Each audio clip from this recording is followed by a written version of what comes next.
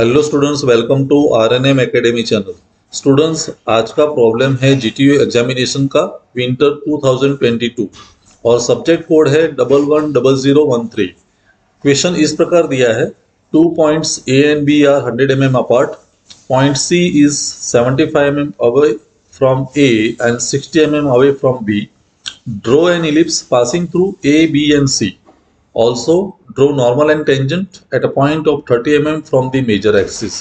इस क्वेश्चन का weightage seven marks दिया है और मैं रफ ड्राइंग आपको ड्राइंग करके आपको दिखाता हूँ और वहीं स्टेप्स फॉलो करके आप डायमेंशनल ड्राइंग बना दीजिए। चलिए सॉल्यूशन स्टार्ट करते हैं।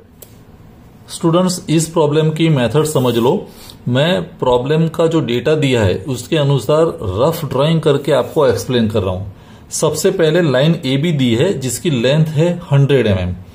तो देखिए, मैं पहले एक होरिजेंटल लाइन बनाने वाला हूँ, ये होरिजेंटल लाइन और उसकी लेंथ है 100 एम mm. तो ए बी एक लाइन ड्रॉ कर दो लेंथ उसकी रहेगी 100 एम mm. अभी एक पॉइंट सी है, जिसका ए से डिस्टेंस है 75 फाइव mm और उसका बी से डिस्टेंस है 60 एम mm. तो मैं क्या करता हूँ ए को सेंटर लेता हूँ और 75 फाइव एम लेंथ जितनी रेडियस 75 फाइव एम की लेंथ रेडियस सेट करता हूँ और एक आर्क लगा दूँगा। ए से यहाँ तक का जो आर्क है वो 75 फाइव एम है। और फिर मैं नई रेडियस सेट करता हूँ 60 एम और सेंटर पकड़ने वाला हूँ बी तो यहाँ से जब मैं आर्क लगाऊ तो वो 60 एम की रेडियस होगी। ये दोनों पॉइंट का, दोनों जो कव आर्क है, उसका इंटरसेक्शन पॉइंट सी होगा। तो ए से सी का डिस्टेंस है 75 और बी से सी का डिस्टेंस है 60 एम mm. तो ऐसे एक ट्रायंगल तैयार हो जाएगा। 100 एम एम सेवेंटी एंड 60 अभी ये ट्रायंगल है तो उसमें से तीनों पॉइंट में से पास होता हुआ एक हमें इलिप्स ड्रॉ करना है। तो करेंगे क्या? अभी आगे स्टेप समझ लो। ए बी का जो मिड पॉइंट है डिसाइड कर दीजिए। 50 एम mm के डिस्टेंस पर आएगा। तो ए पॉइंट जो सेंटर पॉइंट है, उसको मैं ओ कहने वाला हूँ। सी और ओ के बीच जितनी भी लेंथ है, आप मेजर कर दीजिए स्केल से। सी और ओ के बीच ज्वाइन कर दीजिए। और उतनी ही लेंथ नीचे भी एक्सटेंड कर दीजिए, यहाँ तक। मान लो कि ये 40 है तो 40 एम mm नीचे एक्सटेंड कर दीजिए। ये दोनों लेंथ इक्वल होनी चाहिए। तो एक लाइन बन जाएगी। अभी ये लाइन और ये लाइन ये जो पॉइंट है उसको मैं कहता हूँ डी तो ए बी और सी डी ए बी मेरे लिए मेजर एक्सिस हो गई सी डी माइनर एक्सिस हो गई और वहाँ से मैं एक पैरेलोग्राम तैयार करने वाला हूँ। कैसे करेंगे? तो ए बी को पैरेलल आपके पास रोलर है तो ए बी को पैरेलल एक लाइन यहाँ एक्सटेंड कर दीजिए होरिजेंटल लाइन ए बी को पैरेलल और सी में से पास होती हुई एक लाइन यहाँ से भी कर दीजिए। फिर सी डी को पैरेलल और ए में से पास होती हुई एक लाइन बनेगी, ऐसे। सी डी को पैरेलल यहाँ बी में से पास होती एक लाइन बनेगी। तो वैसे एक पैरेलोग्राम तैयार हो जाएगा, जिसका मैं नाम देता हूँ P Q R S rectangle की जगह पैरेलोग्राम और यही पैरेलोग्राम में हम इलिप्स जनरेट कर सकते हैं। इलिप्स कैसे करेंगे?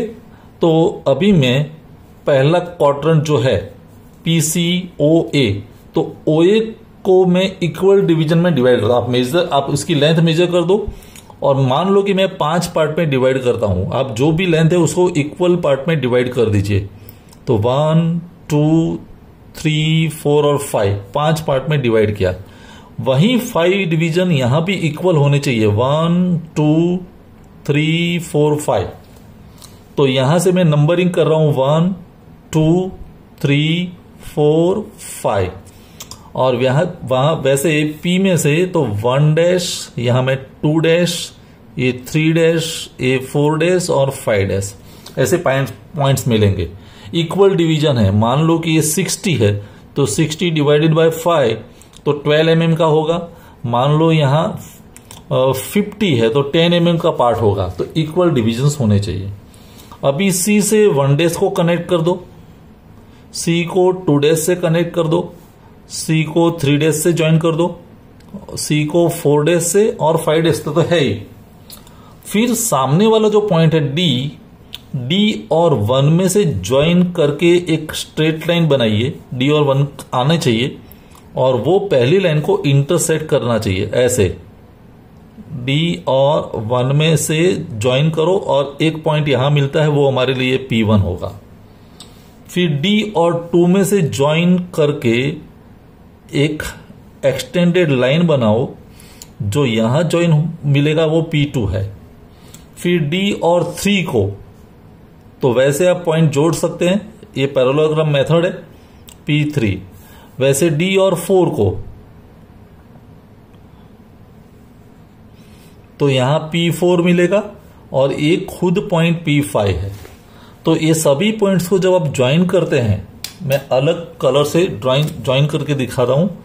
वैसे तो एलिप्स का वन फोर्थ पार्ट तैयार हो गया है। और वही मेथड रिपीट करनी है। बाकी चार डिवीज़न के लिए। वैसे यहाँ भी कर सकते हैं one, two, three, four, five.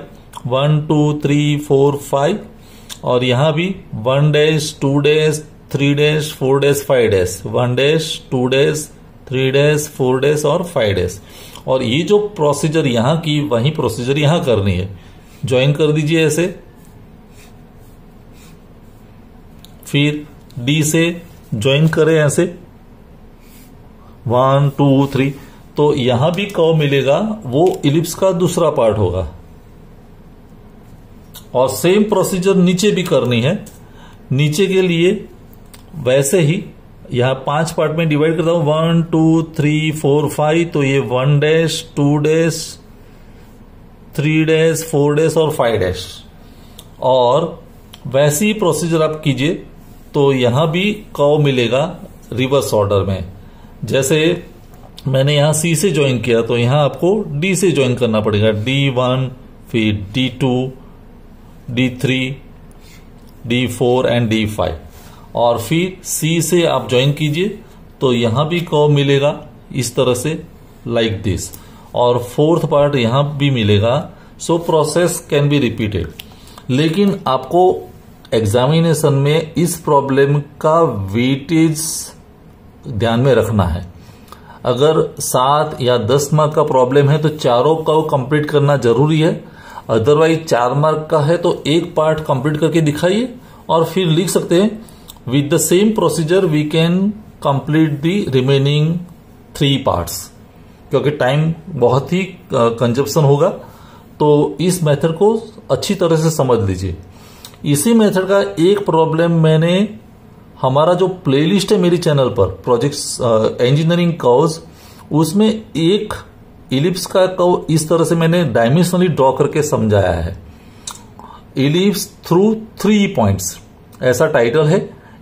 Ellipse construction passing through three points तीन पॉइंट में से पास होता हुआ इलिप्स कैसे बन, हम ड्रॉ कर सकते हैं? तो वो, उसकी लिंक भी मैं दे रहा हूँ डिस्क्रिप्शन में। तो वो प्रॉब्लम डायमेंशनली ड्रॉ किया तो वो भी समझ लीजिए। ये भी समझ में आ जाएगा। कोई डाउट है क्वेरी है तो कमेंट सेक्शन में ज़रूर लिखे। मिलते हैं नेक्स्ट वीडियो में। Thank you for watching thank you very much अगर आपको ये वीडियो पसंद आया है और आप मेरी चैनल पर नए हैं तो प्लीज़ मेरे चैनल को लाइक कीजिए शेयर कीजिए और सब्सक्राइब ज़रूर कीजिए। Thank you very much